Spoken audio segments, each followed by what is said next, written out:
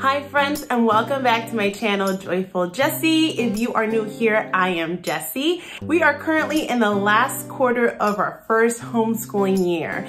And this is typically the time when people start wondering if for the upcoming school year they would like to homeschool and what are some of the things that they should keep in mind. So in today's video, I am going to be sharing with you guys five things to consider before homeschooling. If you already are a homeschooling family and you have some tips or ideas or things for people to consider before they start homeschooling that you have done and that helped you in this process, please go ahead and let us know in the comments below so that we can all share in this together and just chime in as much as you can. Very first thing, and I think this is like the most important thing, is to think about your purpose. Why is it that you want to homeschool in the first place? Whether it is for spiritual reasons, academic reasons, personal reasons, whatever the reason may be for why is it that you are considering to homeschool, think about that and hold on to that for dear life. That is what is going to keep you moving through and moving forward throughout your homeschooling year. When things get tough, when you hit that homeschool burnout, if you get that winter slump, this purpose is what's gonna propel you. So really consider the purpose for why is it that you're homeschooling. Think about that very, very deeply and hold on to it because that is going to be your driving force. The second thing that you should consider before homeschooling is your state's homeschool laws. Depending on the state that you live in, the laws are different. There are some states that are very lenient. They don't have very many restrictions. They really don't have um, very strict laws. And then you have other states that are highly regulated states and there are laws and there are things that you have to do. For example, I live in Pennsylvania, which is one of those states that is very highly regulated. And in our state, there are certain things that we have to teach. We have to do an affidavit at the beginning of the school year. There's paperwork that we have to submit to the school district. And then at the end of the year, we need an evaluation signed up by a certified teacher. So different states have different regulations and different laws. You should really become familiar with them. If you don't know what your homeschool laws are, simply Google your state and homeschool laws, or you can simply look at this website that is absolutely helpful and just breaks it down by state. You click on the state and it'll tell you what your laws are. So that part right there, my friends, is really important. Become familiar with your homeschool laws to make sure that you're doing everything that you're supposed to. The next one is quite important because it will really guide how is it that you want to structure your homeschool. Are your children more of a hands-on learner? Are they more of a kid that enjoys just sitting down and reading? Do they do much better if there is a video instruction? Are they more of hands-on where they learn better when they are learning at the moment with some sort of engaging activity? Do they thrive more in structure? All of these things you need to start thinking about because depending on your children, you are then going to choose what might be a curriculum that will meet your child's needs. For my children, they they thrive in structure. When there's no structure, it is really hard and frustrating, especially for my son. He wants to know at what time is he doing something, when is he doing something. So he really thrives with routines. He wants every day, everything to work out the same way as it did before. He is very comfortable in that type of situation. So when I was looking for a curriculum, I really had in mind, how is it that my kids learn best? What is my purpose? Like the reason for my homeschooling? Because those two really do go hand in hand. And that drove me to the next thing. So think to yourself, how do you envision your homeschool being like? Keeping your kids and your purpose in mind. Are you going to homeschool and you want faith to be the center of your homeschool?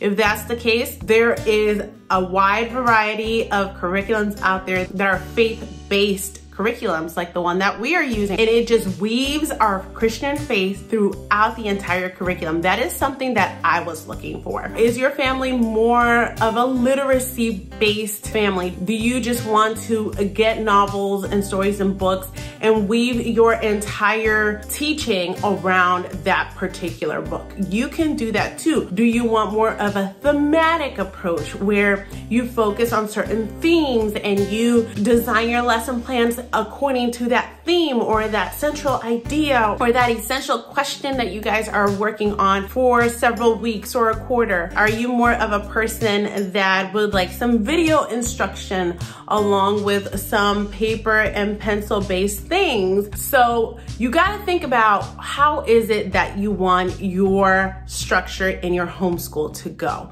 Do you want there to be a schedule?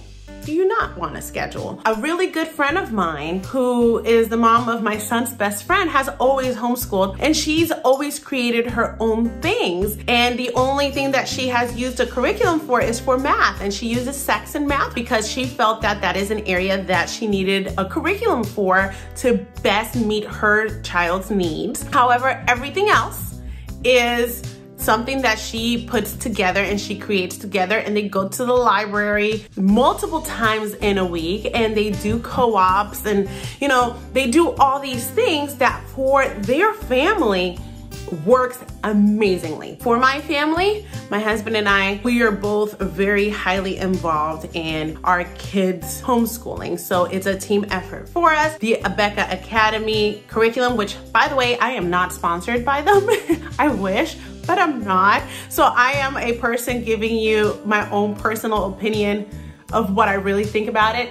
For us, that really does work out very well. We have the video instruction and my son loves that he could just pause the teacher whenever he wants to and go back and re-listen to something if he has to. And my husband works really closely with him, especially with the math, because that's something that my son needs extra support in. So that's really gonna drive you as to what what curriculum are you gonna use? How is it that you're gonna implement it? You don't always have to pay for curriculum. There's free curriculum out there. I know someone who uses Easy Peasy as their curriculum and that's a free curriculum and that's perfectly fine. So for me, before I chose our curriculum, I spent time reading reviews. I looked at people's videos. What is it that they were finding that was helpful? I sampled some of them. So I went online, I looked at their website. If there was a free sample, I sat through and I took advantage of that free sample with my kids and see if that worked for them. The reason why my husband and I chose the curriculum we chose is that when we actually sampled it, my kids enjoyed And my husband was like, oh man, that is exactly what school was like for me. My husband was homeschooled, so he, he was very comfortable with that. And when I tried it out with my daughter on the first lesson that she sampled online, her counting problem was corrected. So that really just, I was like, oh yeah, no, definitely, we're gonna do this. So really just do your homework, do your research. How much are you willing to plan on your own or if you want the planning done for you and that will help you decide on curriculum. And my very last thing for you to consider before homeschooling is to give it a trial run in your house.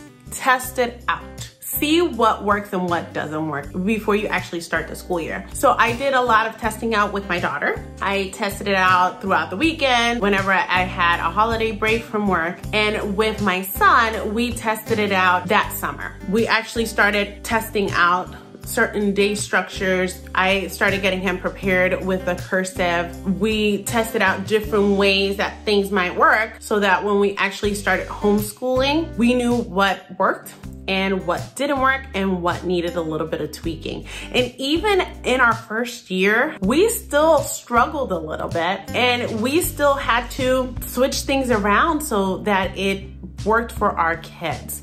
So test it out, give your kids a little taste of it, see how it goes. It just helps you have a better idea of what you're going into and have an open mind be very flexible in your mindset because you are gonna change things. Like I said, you are going to move things around. You're gonna have to adjust things so that your child is not overwhelmed and you are not overwhelmed. Well, my friends, those are my things for you to consider before homeschooling. I hope that you have found it helpful.